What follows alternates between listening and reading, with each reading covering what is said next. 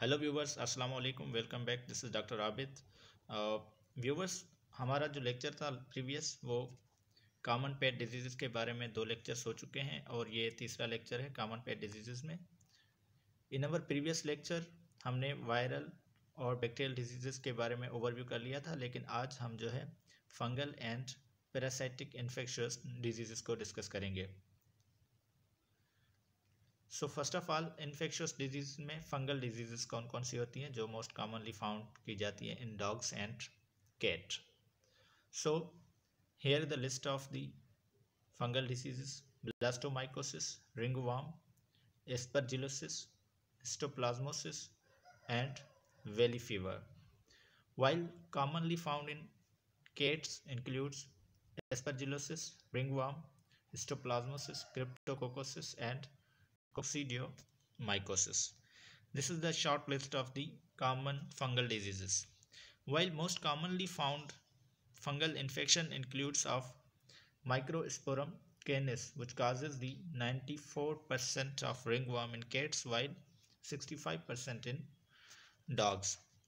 Just like ringworm is misnomer to the this condition in which there is the appearance of the ring-like alopecia tick structure and there will be the rounded alopecia in the skin from the skin of the body and most commonly found at the areas of uh, forehead and the near to the or at the base of the ears and commonly cats this is the most common condition which have been seen in the clinical cases. While other including aspergillosis is also caused by the Aspergillus flavus species of the molds uh, which causes the aspergillus produces the toxin that is aflatoxins and histoplasmosis clinically di diagnosed by the uh, lung science.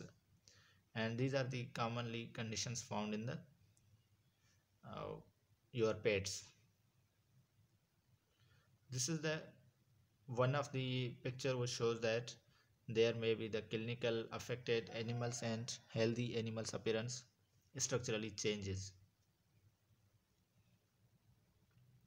अच्छा उसके बाद infectious diseases में हमने क्या पढ़ा था? Parasitic diseases this the last one of the infectious diseases तो इसमें कुछ इंटरनल पैरासाइट्स होते हैं जो कि बॉडी के अंदर रहते हैं और कुछ एक्सटर्नल पैरासाइट्स होते हैं जो कि एक्सटर्नल या फिर सरफेस ऑफ़ द बॉडी पर रहते हैं, जाने के मुकोसल मेम्ब्रेन्स हो गए या फिर स्किन सरफेसेस हो गए।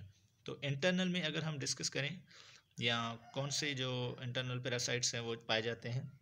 जैसे हुकवाम हो गए whipworm heart found in hearts and ascaris causes the ascariasis, and tapeworms, roundworms, and other toxoplasma gondii कुछ causes the toxoplasmosis that is also a dangerous disease which can also be transmitted to the human females so this is zoonotic in nature and then अगर हम external parasites की बात करें तो fleas ticks lice mange mites demodectic mange and ear mites ये जो है skin problem काज करती है। मोस्टली हमारे पास कंप्लेंट्स आती हैं कि there is alopecia in our cat and सारे घर में जो है वो बाल वगैरह हो रहे हैं तो उसका प्रॉब्लम ट्रीटमेंट वगैरह क्या है? तो देखें, अभी तक कोई भी ऐसी दवाई नहीं बनी जो एलोपेशिया को रोक सके, लेकिन उसके जो वर्ल्डनेबल फैक्टर्स हैं, जो जिसकी कंडीशंस जो इम्यूनोलॉजिकली अनस्टेबल करते हैं, या फिर प्रोटीन डेफिशिएंसी वगैरह हो जाती है तो उस वजह से भी ये हो सकती है, लेकिन इसकी अभी तक कोई भी ट्रीटमेंट नहीं हुई है। ठीक है तो स्किन कंडीशंस जो डेवलप हो जाती हैं, उसको जस्ट सपोर्टिव थेरापी देते हैं हम।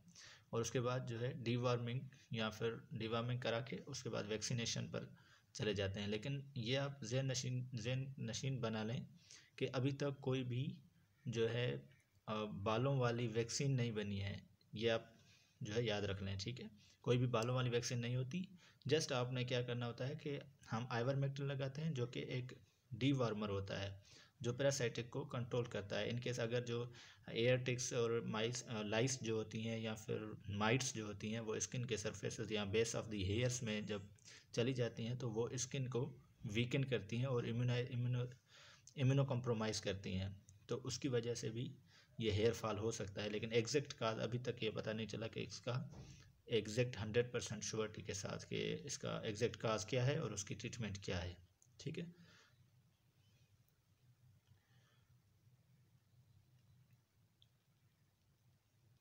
अच्छा एक इन्फेक्शस डिज़ीज़ के बारे में जो है, वो एक कॉमन जो रूट्स ऑफ़ ट्रांसमिशन है, वो कौन कौन से होते हैं कि ये इन्फेक्शस डिज़ीज़ कैसे ट्रांसमिट होती हैं?